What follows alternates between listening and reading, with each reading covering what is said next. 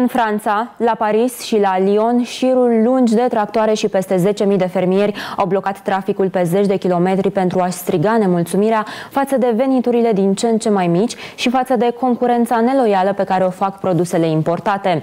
Protestele au loc după ce fermierii germani au blocat la începutul săptămânii trecute traficul în centrul Berlinului în cadrul unor ample proteste organizate, după ce guvernul a anunțat un vast pachet de reformă destinat reducerii utilizării îngrășământului îngrășămintelor chimice, pesticidelor și insecticidelor în exploatațiile agricole din Germania.